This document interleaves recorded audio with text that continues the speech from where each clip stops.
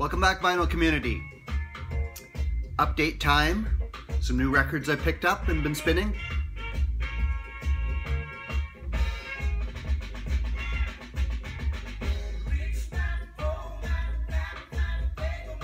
What we're listening to, reggae album from 1980.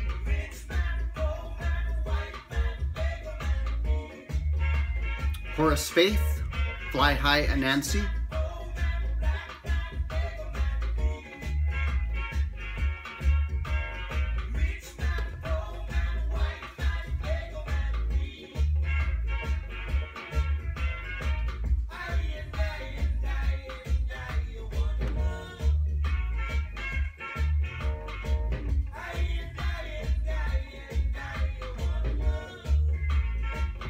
Rich man, poor man, beggar man, thief.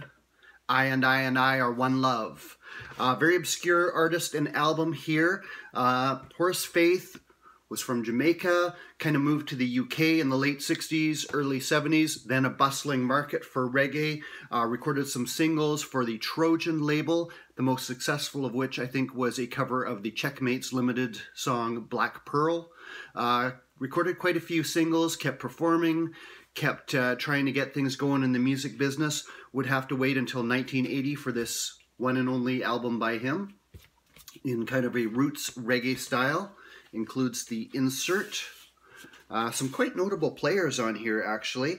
He's got uh, Brinsley Ford from Aswad, George Oban, Delroy Washington, recorded some of, a couple of albums for the Virgin label. Uh, Dandy Livingstone, another Trojan artist on backing vocals, but uh, very much kind of a roots reggae sound of the time, late that late kind of Bob Marley sound. Uh, quite a uh, almost has a feel of a concept album. There's uh, some lyrical references to some of the struggles he went through trying to get to get going in the music business and the uh, trials and tribulations he experienced.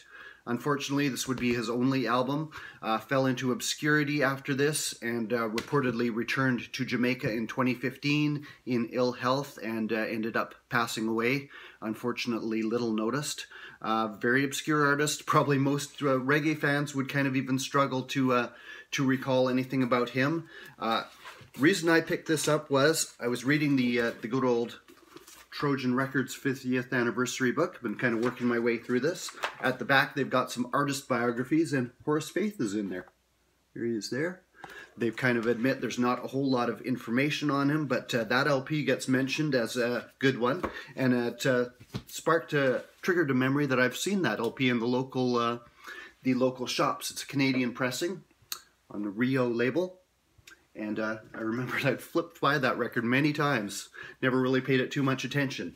So after reading that, I decided to go back and pick it up. Some other pickups, uh, thrift stores dried right up for me again, but I did find this one the other day.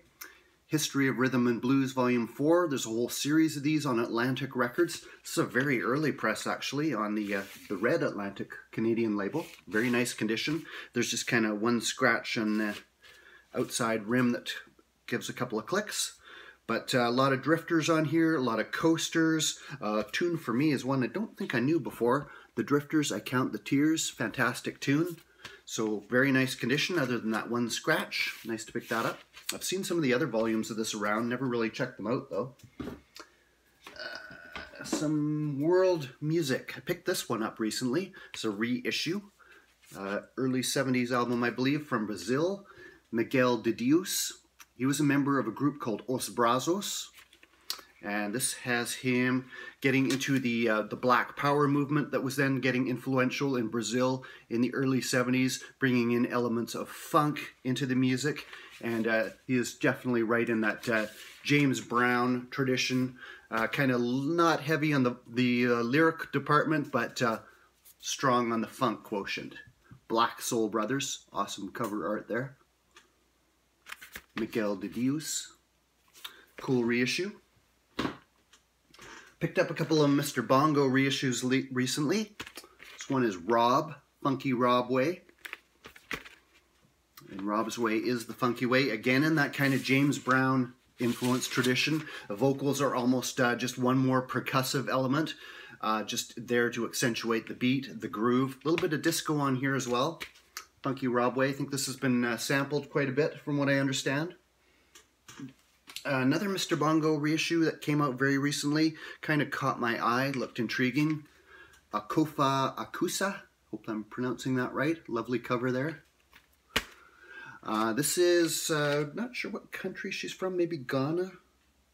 But uh, anyway, lyrics kind of uh, partly in French, uh, very folk influenced, I would say. Has that very 60s folk sound. If she was singing in English, you would think it was some US folk singer. But lovely pressing on here. And what does the notes here say? Togolese from Togo, not Ghana. So very lovely, uh, kind of a French chanson tradition uh, in there as well, bit of a Latin element. Lovely, lovely album, lovely vocals. Picked up, uh, went out, I didn't make it out on Record Store Day. Record Store Day is probably a distant memory by the time I get to uploading this, but uh, it was pretty recent as of now. Uh, didn't make it out on the day. Uh, went a few days later. Was hoping there'd be some stuff still around. I had uh, kind of a list of things I was sort of interested in. Uh, fortunately, there wasn't kind of a whole lot left that I was looking for, but I did manage to pick up a couple. Uh, probably the top of my list was Nightfall by Johnny Osbourne. This is the first ever uh, reissue of this one. Got the title track on a reissue 10-inch single, as well as, and I first encountered it on some CD compilation, but I've never had the album. And this comes from VP Records on a lovely kind of a coffee marble pressing.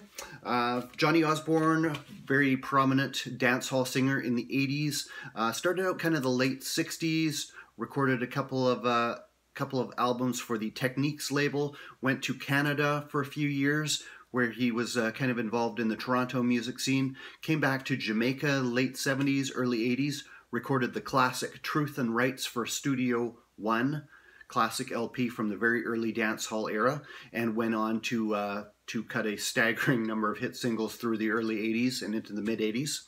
Uh, kind of maybe not that well known, never really had like a convincing image, but he cranked out hit after hit. And uh, this finds him working with producer Linval Thompson. This is 1981 originally. Uh, wanted to get this one. Original of this is not going to happen. I don't think there's even a single copy for sale on Discogs.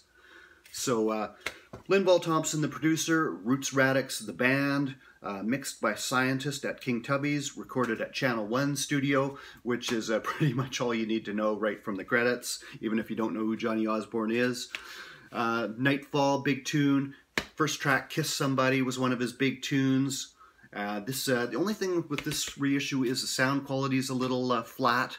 Uh, I think they've extended it with some uh, dub versions and a couple of DJ tracks by Puppet Tulo, which weren't present on the original edition.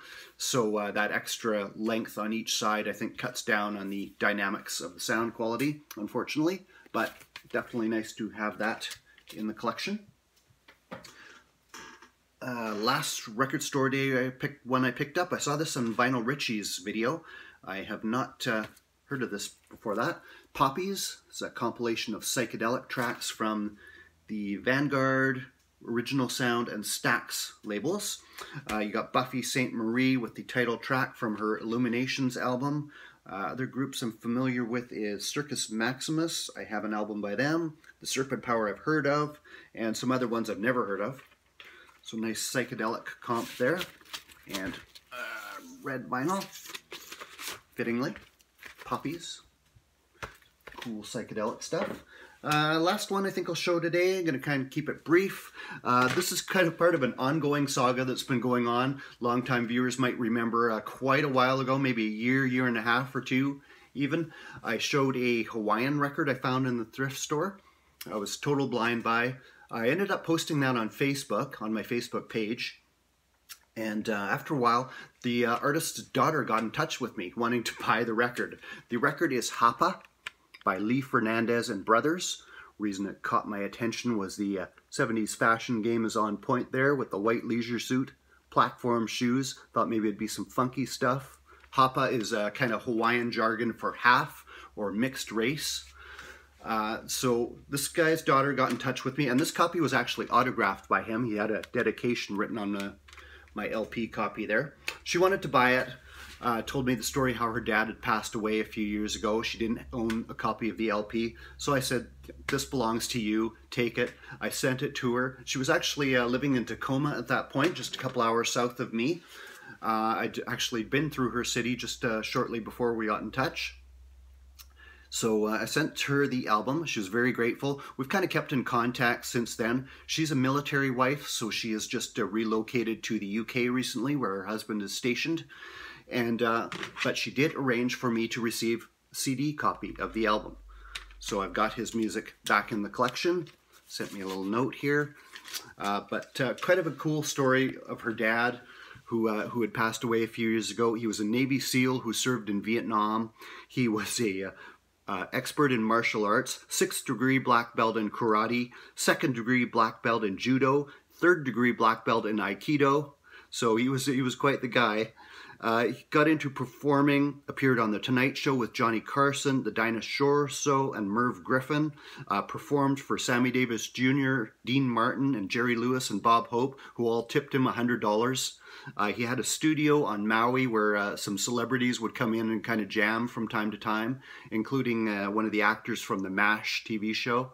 Uh, he was quite involved with with charity charities for children uh, helping handicapped kids and performing on uh, telethons and sadly passed away a few years ago. So very nice to have him back in the collection. Okay guys, that's all I've got for you today. Hope everybody's doing well out here, out there, out here. I'm doing well here. Hope you're doing well out there. Okay, got more coming for you very soon. So until then, thanks for tuning in and peace.